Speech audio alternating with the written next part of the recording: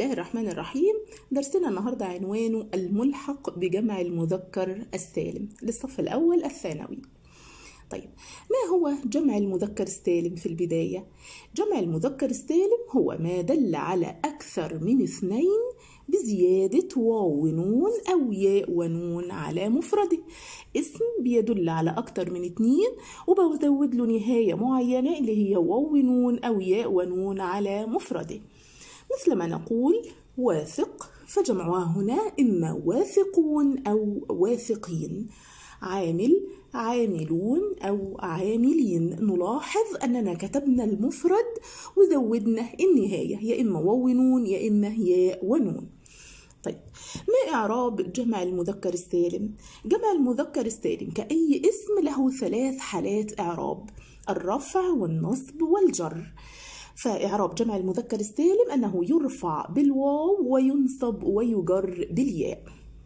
مثل ما نقول اللاعبون متميزون. هنا الجملة أمامنا جملة اسمية تتكون من مبتدأ وخبر وكل منهما مرفوع بالواو لأنه جمع مذكر سالم. إن المجتهدين ناجحون. هنا عندي اتنين جمع في هذه العبارة المجتهدين وناجحون. طيب إن إن زي ما إحنا فاكرين وخدناها قبل كده إنها بتنصب المبتدأ وترفع الخبر. إذا فكلمة المجتهدين اسم إن منصوب بالياء لأنه جمع مذكر سالم وناجحون خبر إن مرفوع بالواو لأنه جمع مذكر سالم. تعلمت من السابقين. السابقين هي جمع المذكر السالم هنا وهي مسبوقة بحرف الجر من. إذا فإعرابها اسم مجرور بمن وعلامة جر الياء لأنه جمع مذكر سالم. طيب كان لابد من هذه المقدمة لكي نصل إلى الهدف الأساسي من درسنا اليوم وهو الملحق بجمع المذكر السالم. الملحق بجمع المذكر السالم عبارة عن ألفاظ معينة تشبه جمع المذكر السالم وتعرب إعرابه شكلها زي جمع المذكر السالم وإعرابها كمان نفس إعراب جمع المذكر السالم يعني بترفع بالواو وتنصب وتجر بالياء. ما هذه الألفاظ اللي أحفظها زي اسمي بالضبط؟ ألو وذو وأهلون وبنون وسنون وعالمون. زائد ألفاظ العقود ألفاظ العقود اللي خدناها قبل كده في درس العدد اللي هي الأعداد من عشرين لتسعين. عشرين تلاتين أربعين خمسين ستين سبعين تمانين تسعين تسمى ألفاظ العقود. هذه الكلمات هحفظها. صم هي دي الكلمات دي بتسمى الملحق بجمع المذكر السالم.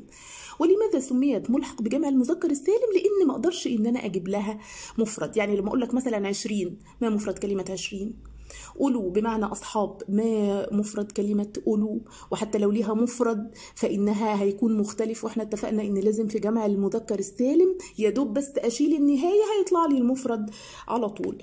فأحفظ الكلمات دي هي الكلمات الملحق بجمع المذكر السالم. ننظر إلى الأمثلة.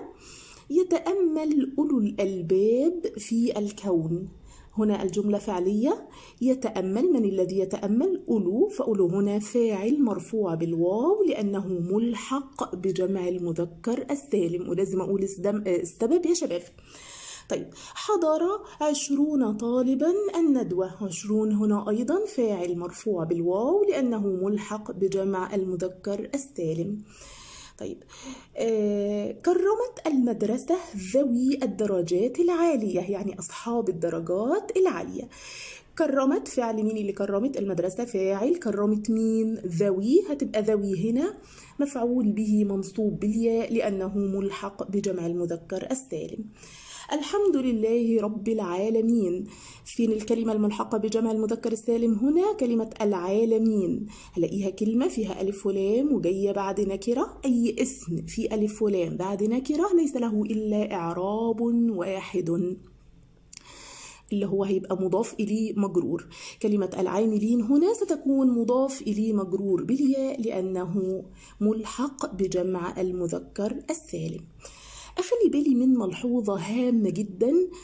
آه ماذا تقول هذه الملحوظة؟ اللي أحفظها برضو كويس. تحذف نون جمع المذكر السالم والملحق به في حالة الإضافة. ننظر معا إلى هذا المثال. كلمة آه، المثال يقول بنو مصر أصحاب حضارة. زي ما إحنا شايفين هنا إن بنو دي أصلها بنون كلمة ملحقة بجمع المذكر السالم. ولكن عندما جاءت نكرة وبعدها معرفة حذفت النون للإضافة. بنو هنا إعرابها اسم في أول الجملة هيبقى إعرابها مبتدأ مرفوع بالواو لأنه ملحق بجمع المذكر السالم. أخلي بالي من نقطة حذف النون للإضافة. دي وحذف النون للإضافة بيشترك فيها المثنى وجمع المذكر السالم. إذا كان نكرة وجاء بعدها معرفة فتحذف النون للإضافة. آه، كده يبقى درسنا خلص النهارده. أتمنى إن شاء الله إن يكون الدرس سهل وبسيط عليكم والشرح يكون واضح. وأشوفكم إن شاء الله في درس تاني قريب جدا. bye bye.